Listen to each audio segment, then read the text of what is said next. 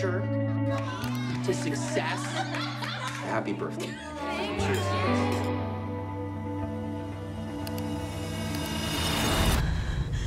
Laura is the connecting point between Marina and her friends.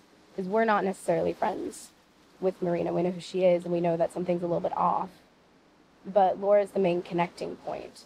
I thought we were friends. Marina, what are you talking about? I saw you with everyone. Do you have any idea how it feels to be alone?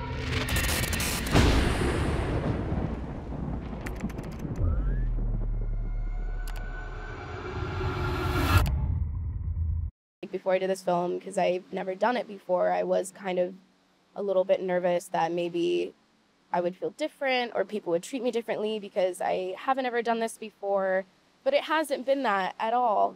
And it's been a really, he creates a really good space to work in, uh, really free.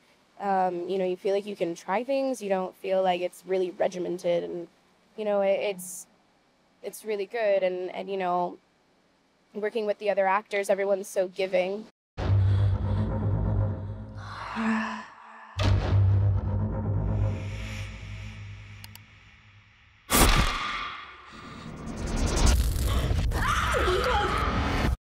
You know, it starts off like this, you know, nice film about friends, and it's really nice. I was like, maybe it's like a sweet little rom com or comedy, or whatever.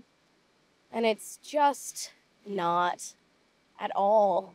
it's kind of the opposite. And I I had no idea before I started reading it that it was a horror film, and it scared the out of me. I don't think this was a suicide. I think it was a ritual.